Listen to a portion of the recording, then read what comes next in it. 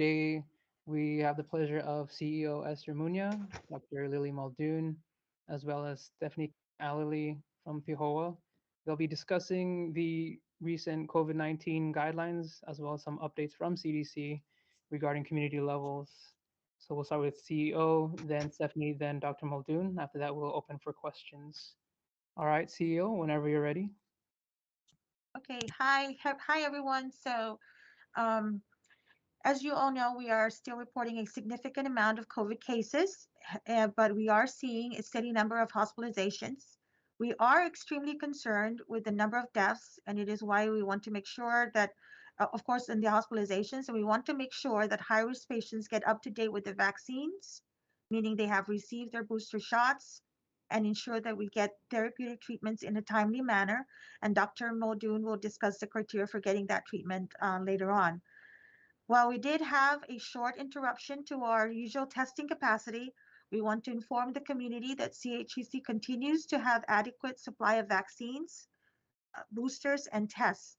Our inventory of treatments is also always monitored and is also readily available. All of these will prevent or lessen severe illnesses for many people if they become infected with the virus that causes COVID-19. Our ability to prevent or reduce, severe illnesses makes it less critical to focus on stopping every case of COVID-19 as we had announced last mm-hmm. month. We had shifted our strategy to minimizing the impact of COVID-19 of COVID-19 has on our health, our healthcare systems, and our community while still focusing our efforts on protecting those who are most at risk of severe illness.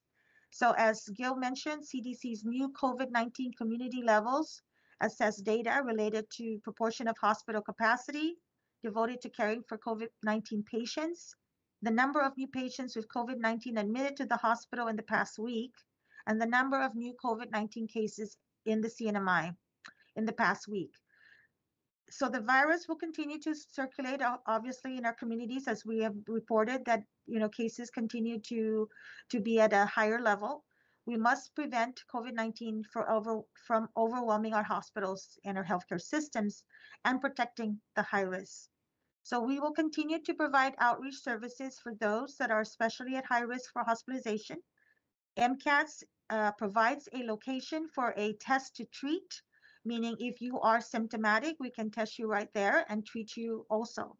The provider who determines the best therapeutic treatment can either provide the service at the MCATs or prescribe you the oral medications, uh, you know, using our pharmacy, uh, which is really just across from the MCATs. There will be times, again, uh, we want to, you know, at this point, uh, um, Stephanie will be describing the level, the community level that we are in, and there will be times when when we may shift. And so again, we will just want to remind everyone that we want, if you've tested positive for COVID-19 or if you have symptoms of COVID-19, take steps to prevent spreading the virus to others. Stay home for five days, stay away from others, and of course, wear a mask for at least up to at least 10 days after testing positive. And if you have symptoms of COVID-19, wear a mask and get tested to find out if you are infected. Extra precautions, again, we're, you know, we're talking about the high risk, maybe need, we want to make sure that there are extra precautions that you put in place for uh, making sure that we protect our friends, our neighbors, and our loved ones, especially with those increased risk of severe illnesses. And um, the best way, of course, to protect young children who are not eligible for vaccines is to ensure that people around them are also up to date on their vaccinations. And um, travel testing, uh, we have uh, made the, because of the MCATs, and again, we want to make sure that we have the ability to test people and treat them. We want to make sure that the travel testing has uh, is is out of that uh, uh, operations, and we have moved that operations over to Kobler Center, uh, the Koblerville Com Community Center. And um, and if you have any questions about that, I can I can answer also. Uh, we do have information also about the fourth shot for especially for the high risk and is uh, the moderately to severely immunocompromised vaccines, uh, vaccine recipients. We do have a form. We, we have a fourth dose referral form. As the CDC guideline states, vaccine recipients are encouraged to speak with their healthcare provider about their medical condition or conditions and whether getting a fourth dose is appropriate for them. This form will be shared with the uh, all providers uh, CHCC providers as well as private providers so that they can complete the document. Uh, there will be information on what, you know, what uh, criteria or what, what is the recommendation for, for uh, if, the, if their patient actually meets the uh, eligibility for the fourth dose. So there, those are going to be provided to the providers. And once that form is completed, then they can bring that to a community uh, either either with the uh, outreach or with the mass vaccination site, which is located right now at the um, multi-purpose center, as well as if you are going to the immunization clinic as well. So I'll turn it over to Gil, who will turn it over to the next presenter. Thank you. Yes, thank you, CEO. Now we'll have Stephanie Kern Alley speak on the CDC community levels. Uh, thanks, CEO, and, and thanks, Gil. Uh, welcome, Medium Partners. Uh, always good to see you guys um, and allowing us this opportunity to share uh, news with you all uh, regarding new CDC uh, approaches. Um, so just wanted to quickly share the new COVID-19 community guidelines. I'm going to try and share my screen here so the folks can see it. Apologies for the short delay here. Are folks able to see that all right? Yes, ma'am. Thanks so much, Gil. Uh, so the new community COVID-19 guidelines uh, has three different metrics involved with it. Uh, the new COVID cases per 100,000 people in the last seven days is this big uh, first indicator. Uh, we're looking for 200 or fewer um, for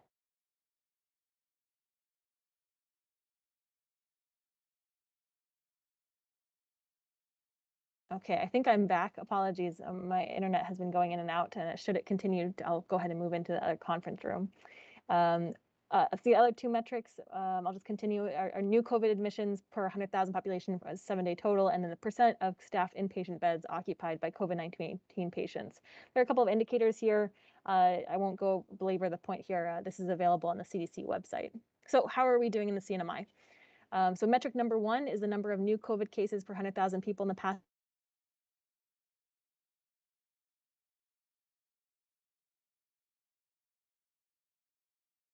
Okay, I think I'm back again. Apologies, folks. Uh, I think I have a faulty uh, internet cord. Um, as you can see, here we are in the CNMI. We have a really high transmission rate currently, although that's been declining in recent weeks, which is a great, great news. Um, thanks to uh, you know folks getting their booster shots, et cetera. That 200 uh, line is down here. We haven't seen that since the end of November, but um, we are a jurisdiction that saw the Delta and Omicron variants simultaneously, which has really spurred transmission for such a long period of time. And now with the numbers coming down, I'm hopeful that that will uh, trend will continue. Um, a second metric is our new COVID admissions per 100,000 population. This is our seven-day total admissions. Um, so in the last uh, couple of days, it's been the, our hospitalizations, our admissions have been uh, fairly stable. As you can see, um, this in December is our, our Delta surge, and, and these hospitalizations over here are in our Omicron surge are, are about equal actually, um, which is uh, a testament to the high vaccination coverage, uh, our prevention of severe disease in the community, our focus on providing treatment for those individuals, and our community be really being engaged to reduce transmission, but also to uh, protect those who are at most high risk of severe disease. Um, so you can see we're looking for 20 or 10, depending on how many cases we have in the community. This would be our low transmission rate at 10 new admissions per 100,000, and this would be our medium community level um, at 20. So we're almost at that 20 mark actually um, for medium, though we need our transmission, uh, current transmission rate to slow down a bit to have fewer cases uh, ongoing in the community. And the third metric is the percent of staffed inpatient beds that are occupied by COVID-19 patients, and this is a seven-day average. Um, so right now we're hovering around uh, 12 to about 10%, and 10% is the level we're looking for for uh, a medium or low uh, community level in the CNMI. So how are we doing currently? Our current COVID-19 community level in the CNMI uh, with data up to March 1st is high. Uh, again, Uh, although our transmission, our two of our three are sort of uh, close to that uh, lower medium mar- mark, we still have really high rates of COVID-19 here in the community in uh, in Saipan, and, and we're also seeing cases in Tinian and Rota, which we didn't see with the Delta surge back in um, um, December. Uh, so until that uh, overall transmission number um, comes down a little bit further, we'll still be in this high category. Um, and there are additional details on the CDC website on what does this mean, uh, what does this mean for our community, et cetera. I'll go ahead and stop sharing my screen if I can figure out how to do that. Um, okay, I think I figured it out. Apologies, technology is still difficult for me. Uh, but with that, I uh, just wanted to kind of share our current status uh, regarding COVID. We still have a high transmission rate.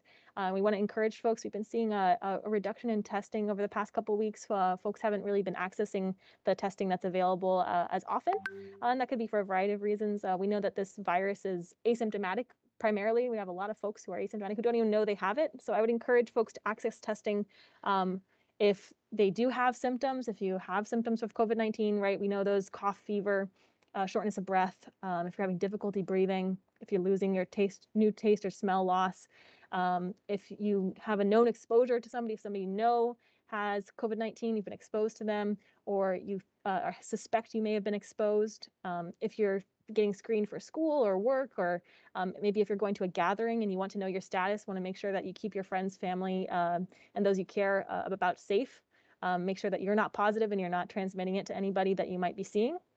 Um, when you're asked to get tested by a healthcare provider and before and after you travel uh, to ensure that everybody's, uh, you know, making sure that they're keeping themselves and their community and their families safe. Um, so just wanted to encourage folks to continue to get tested uh, should any of those apply to you. Uh, we have testing available at, at Kobler Community Center um, and, and, a number of uh, avenues. Um, so that's kind of my COVID update. Uh, back to you, Gil. Really appreciate it. All right, thank you, Stephanie, very much. Thank you very much, Stephanie. Now we'll move on to Dr. Lily Muldoon. She is the Medical Director of Public Health for CHCC. Dr. Muldoon. Thank you, Gil, um, and good afternoon, everybody. Thank you for having me join you today. I wanted to take a few minutes to um, add on to the comments by uh, CEO and our epidemiologist um, about how to be interpreting some of these numbers and what it means for you in your daily life. Um, so we'll kind of be talking about the COVID trends and I want to give a point about vaccination, particularly about uh, the fourth booster, which is new information that has changed for us. I'll be uh, discussing what it's going to be like to be living with COVID, uh, specifically what being in high community level actually means to us. And then I'll be going over some of the different treatment options. So I think that the trends are very interesting here. And the graphs that Stephanie showed highlight a few things for us. First is that we have been mimicking uh, pretty exactly what happened in the mainland in Guam with regards to how there were peaks with both the Delta and the Omicron surges.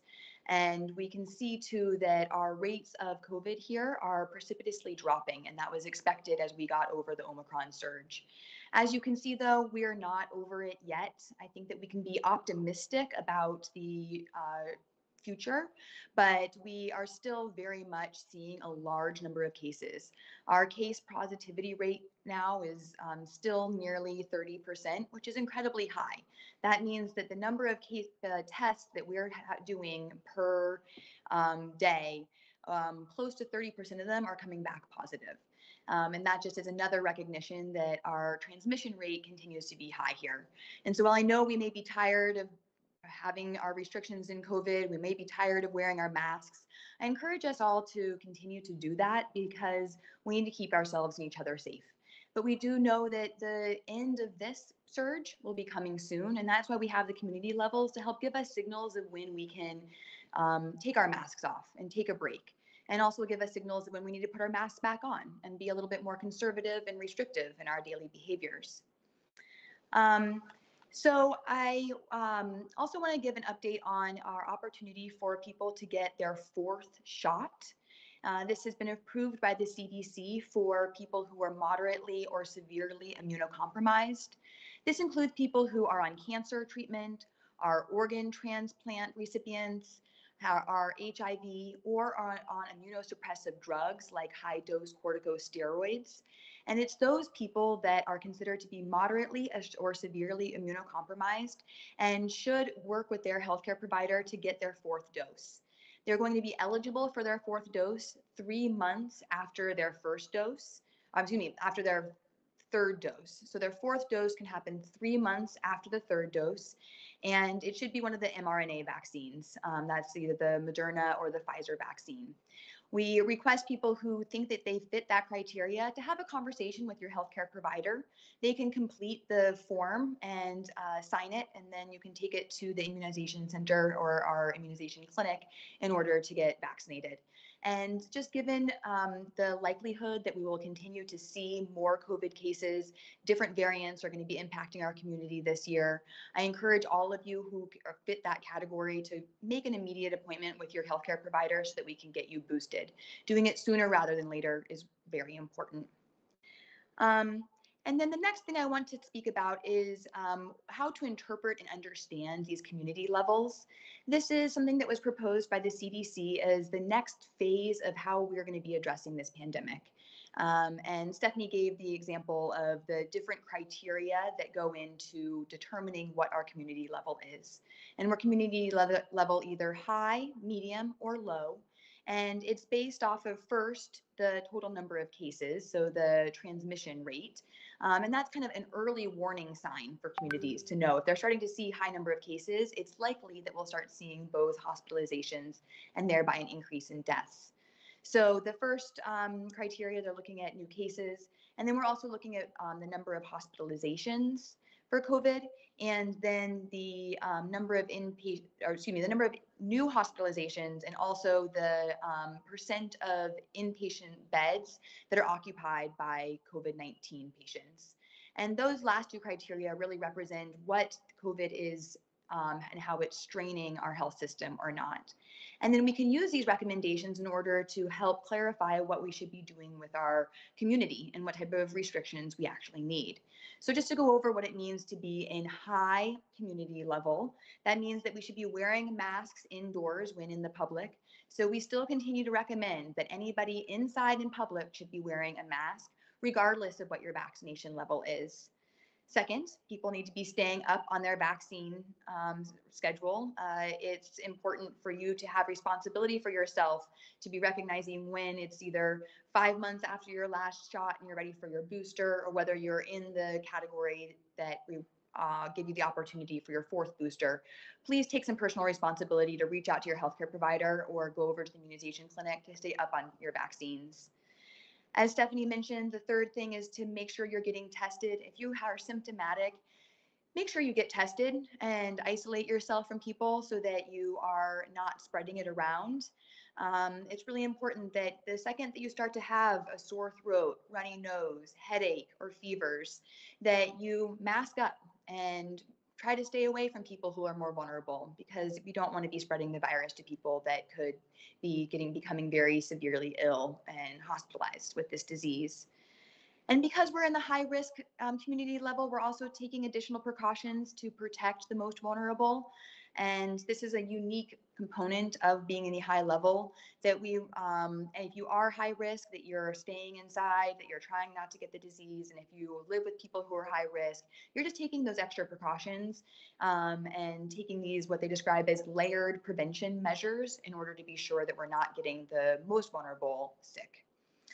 Um, and if you do test positive for COVID, um, the same recommendations hold true. So uh, nothing has changed with regards to what we are telling you to do.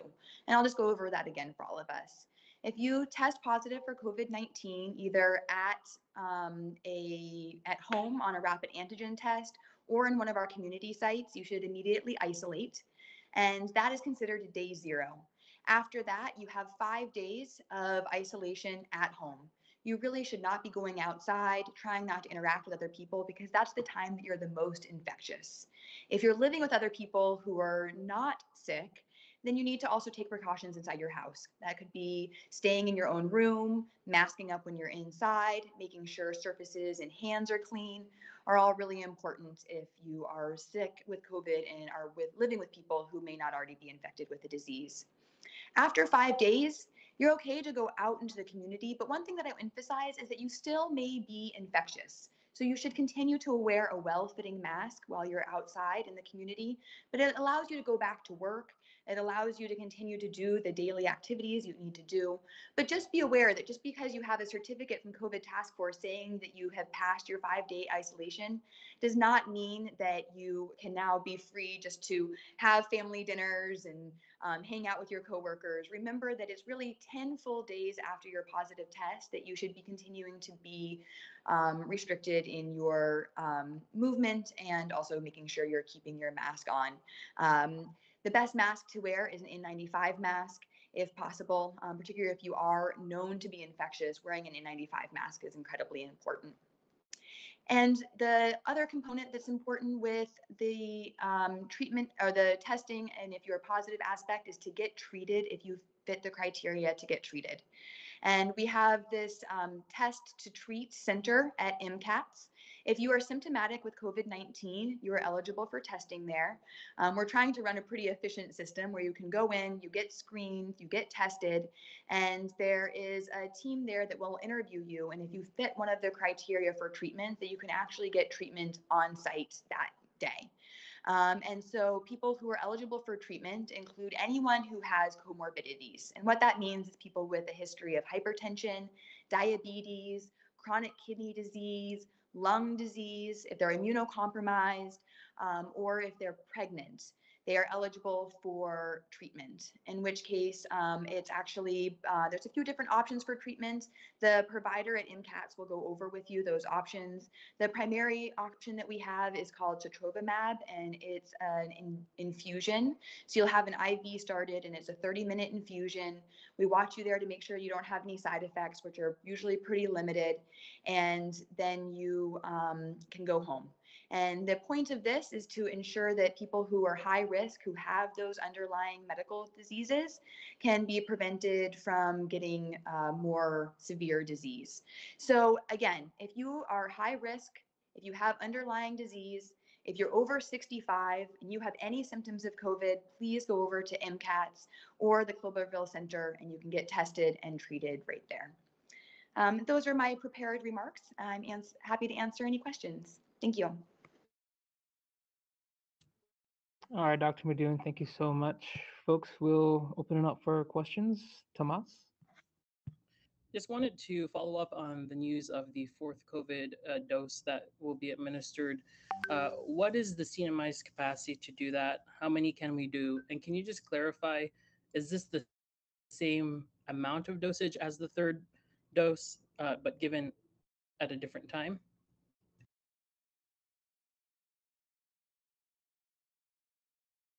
So just two questions, one on capacity, second on some details about this fourth dose.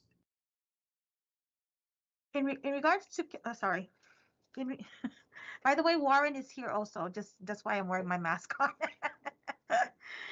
okay, so um, so if you have any questions for Warren as well. In regards to ca capacity, um, we do have the FEMA contractors here as well, um, but we do have the um, FEMA contractors also with our mass vaccination site and the outreach that we are conducting. Um, we are usually doing that on weekends. Um, we had gone two, two to three weeks, I believe, at Kagman to cover those areas. And um, again, you know, we have the the adequate inventory supply.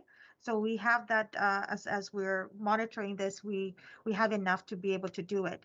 The um, in regards to um, I guess the timing, as Dr. Muldoon mentioned, you know, that is uh, that we have shared the the eligibility for it, which is really in the CDC guidelines for uh, severely, I'm sorry, moderately and severely immunocompromised uh, uh, individuals that have, uh, are high risk and they are eligible for that.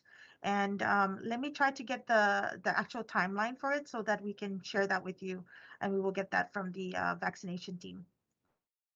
All right, and then can you just clarify the um, if how this is different if it is from the third dose, and then also uh, if, if if this is only specific to one manufacturer? Um, I have the numbers pulled up here. Um, this is our current inventory of both the Pfizer and Moderna. And we have uh, hundreds of doses for um, both of those that are available. Um, so I think that anybody who decides to get vaccinated or get their booster, we really will have the ability to do that. And our vaccine team is on top of it that if we start to have any signal that we are um, running low because of demand, we're able to get vaccines here. So I don't think that that is a current limitation or worry of ours. And then to answer your second question, um, it is the same vaccine. Um, both of them are either the Moderna or the Pfizer mRNA vaccines. Um, it's the same one in the series that we've been giving previously. And is there a chance that you're going? Just my last question: Is there a chance that you're going to expand the eligibility? Uh, you know, a few people might say uh, I might not fall under the immunocompromised, um, uh, you know, circumstances, but you know, I want to be extra safe and get my fourth dose. Uh, so, is that a possibility? And when do you see that happening? I see that as a definite possibility. We follow what the CDC guidelines instruct us. And um, I think similar to the way the booster was rolled out, that they first saved it for the highest risk individuals. And then quickly over time, um, other people were eligible. I foresee that similar with this fourth shot, more people will be eligible over the next coming weeks to months. All right, thank you. That's all my questions.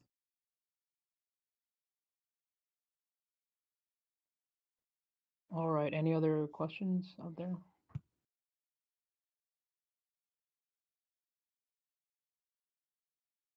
Folks, if not, then that'll wrap up our media briefing for today.